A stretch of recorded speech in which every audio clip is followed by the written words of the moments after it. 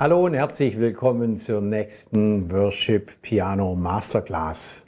Heute Matt Redman, Heart of Worship.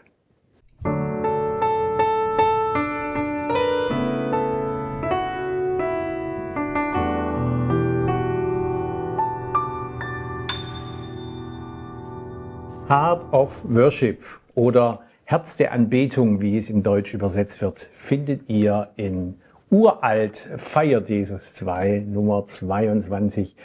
1997 ein schon etwas älterer Titel, aber für mich vom Inhalt her nach wie vor eine, eine ganz, ganz tolle Aussage. Worum geht's in diesem Song? When the music fades, die Musik verhallt, alles wird ruhig, und ich bin einfach nur da. Ich muss nichts machen. Ich muss nichts beweisen oder was. Ich bin einfach nur da. Und im Refrain geht es dann einfach nur Heart of Worship, also das Herz der Anbetung. Es geht nur um dich. It's all about you. Und darum geht's in diesem Song. Wir haben also ganz, ganz, ganz reduzierte Sachen, weil, wie gesagt, ich muss von mir aus selber gar nichts tun. Ich kann einfach nur sein. Und das ist eine schöne Herausforderung bei diesem Song, wirklich ganz wenig zu tun und trotzdem einen Sound zu kreieren, wo jeder sagt, wow, da ist alles da. Schauen wir uns mal konkret diesen Song an. Song ist in D-Dur geschrieben, wir haben einen Viervierteltakt, wir haben 70 Beats per Minute, also relativ langsam, nicht ganz so langsam wie die Stücke davor, aber sehr, sehr ruhig. Der Aufbau ist immer der gleiche. Wir haben Vers 1, Pre-Chorus, Chorus, Vers 2, Pre-Chorus, Chorus. Was noch auffällt, ist, dass der Chorus zwei Takte länger ist, also 8 plus 2. Einfach, dass wir wieder runterkommen, dass wir wieder zur Ruhe kommen. Schauen wir uns mal die Melodie an. Interessant ist, dass dieses Stück erstmal mit einer Pause anfängt. Auch der Pre-Chorus beginnt mit einer Pause und auch der Chorus beginnt mit einer Pause. Ist sehr interessant, wenn es darum geht, uns selber zurückzunehmen. Das, ist, das heißt, das Erste, was wir in allen drei Parts haben, ist eine Pause. Dann haben wir auch teilweise relativ lange Töne, wo nichts passiert. Okay. Aber jetzt. So. Also einen ganzen Takt lang passiert gar nichts und danach die Pause. Ist auch wieder ein bisschen charakteristisch für diesen Song, wo so wenig passiert. Erst im Chorus, da sind wir relativ dicht.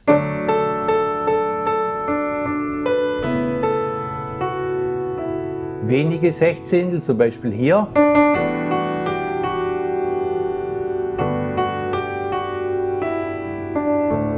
Auch die ganze Range von der Melodie ist sehr, sehr, sehr eng, sehr, sehr. Wir haben von D bis zum A, kurz mal bis zum H, eine sehr, sehr, sehr enge Range, in der sich alles abspielt. Ihr seht, der ganze Charakter von dem Stück, vom Aufbau, von der Melodie, von der Rhythmik, mit den Pausen, ist identisch mit dem Inhalt, nämlich es geht nicht darum, dass ich irgendwas mache, sondern es geht darum, dass ich zurückkomme, zum Herz, zum Heart of Worship, denn es geht nur um Jesus. Er ist alles.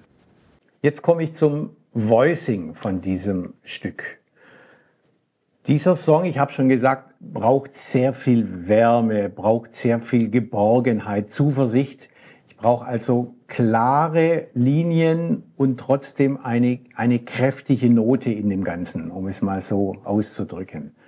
Was ich in diesem Falle sehr gerne benutze, ist mit der linken Hand die Quinte dazu und gerne nochmal eine Quinte. Da komme ich zur None, also Quinte 1 und von dem A nochmal eine Quinte bin ich bei der None. Um das jetzt auch harmonisch zu ergänzen, kommt noch die Dezime dazu, die Terz. Und ich kann die None auch liegen lassen.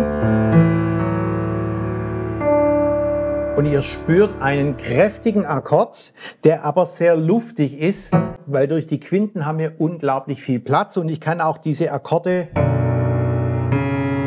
ziemlich in der tiefen Lage spielen, vor allen Dingen die Dezimen sind immer noch relativ klar. Ein Dreiklang ist da schon viel zu dicht. Das würde nicht mehr funktionieren. Der ist zu eng. Der braucht Platz, dieser Akkord. So, was sich hier auch anbietet, ist ein Voicing, was eine leichte, einen leichten Move hat, eine leichte Bewegung.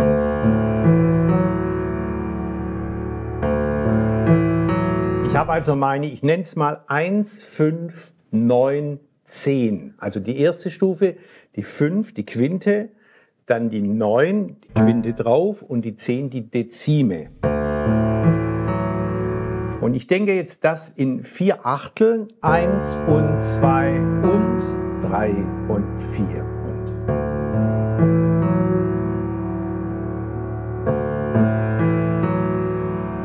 Ich habe jetzt zwei Vorteile. Ich etabliere das Metrum. Ich etabliere die Ruhe, weil ich nämlich in der zweiten Hälfte gar nichts mehr habe. Und durch diese Synkope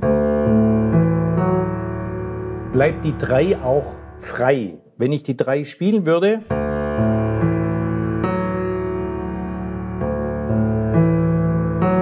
jetzt wird es klarer. Ich will hier aber diese Leichtigkeit haben.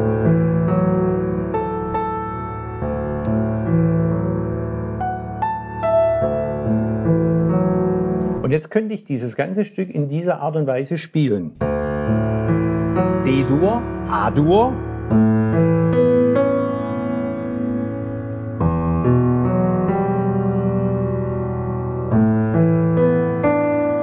spiele ich keine Terz, keine Dezime, weil Sus dort steht.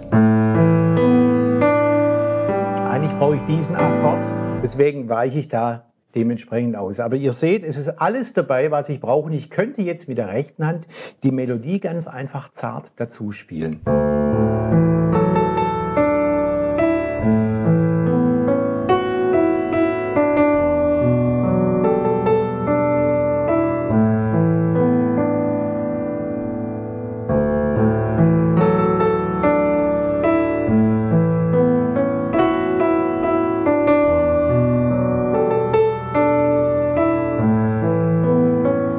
Passt auch sehr schön zusammen, weil wenn ich links die Achtel spiele, sollte ich rechts keine Melodie haben. Ich mache das Beispiel jetzt mal im Chorus und weil ich im Chorus schon sehr viel Achtel am Anfang habe, merkt ihr, dass das irgendwie ein bisschen clasht, weil, es, weil die linke und die rechte Hand gleichzeitig zu spielen, gleichzeitig spielen und das funktioniert nicht.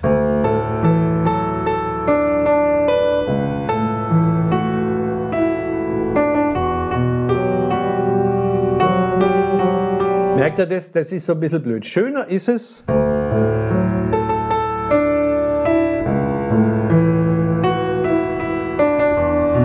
wenn immer nur eine Hand die Aktion hat, weil es für den Zuhörer leichter ist, sich auf eine Sache zu konzentrieren und nicht, wenn beide gleichzeitig babbeln, versteht man gar nichts bei der Sache. Deswegen aufteilen Rhythmik mit der linken Hand, wenn die Bewegung ist, nur wenn ich keine Melodie habe oder wenn ich frei improvisiere, eine freie Melodie-Variation spiele, kann ich dementsprechend ausweichen. Wenn ich im Chorus bin, würde ich deswegen die Akkorde in der linken Hand zusammen anschlagen. Schön wäre hier natürlich diese drei Töne, D, A und Fis. Für viele auch für mich ist die Dezime einfach hier zu groß. Deswegen versuche ich das mit der rechten Hand einfach mitzumachen.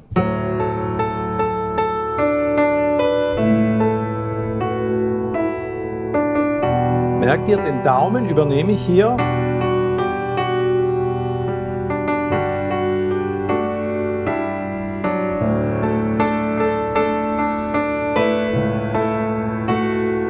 Und so fülle ich auf.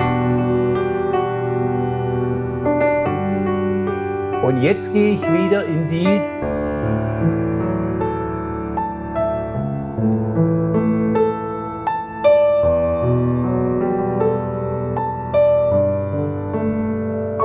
in diese Achtelbewegung. Zum Thema Reharmonisation. Ich würde bei dem Stück jetzt nicht zu viel machen, was mich persönlich aber etwas stört, ist der große Sprung im Vers von D-Dur nach A-Dur.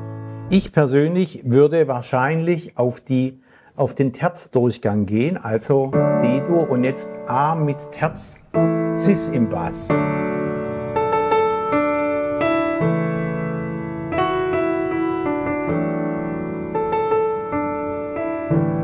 Ist der Sprung nicht ganz so groß, wie wenn ich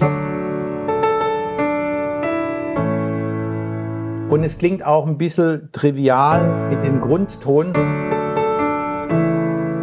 Mit der Umkehrung klingt es ein bisschen softer, finde ich persönlich. Das wäre eine erste Änderung, die ich mir vorstellen könnte. Eine zweite Harmonieänderung könnte ich mir im Pre-Chorus vorstellen. Wir haben diesen schönen Wechsel von E-Moll An dieser Stelle könnte man vor dem E-Moll noch eine Dominante einbauen. Es würde sich so anhören.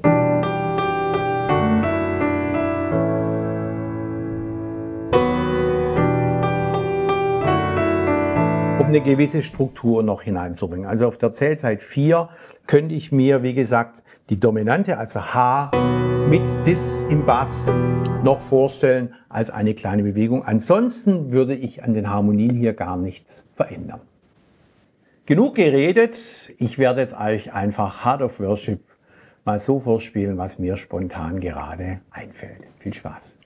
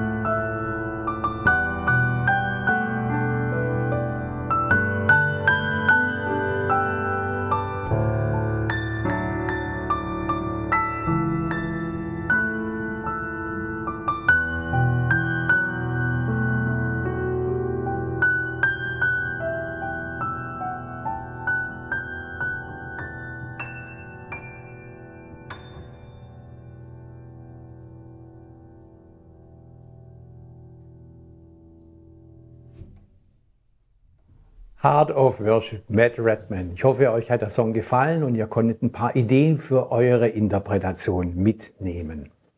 Ich würde mich freuen, wenn wir uns beim nächsten Worship Piano Coaching wieder sehen würden und wenn ihr weitere Infos braucht, weil ihr vielleicht tiefer einsteigen wollt oder vielleicht selber mal ein Piano Coaching bei mir besuchen wollt, dann geht einfach auf meine Homepage.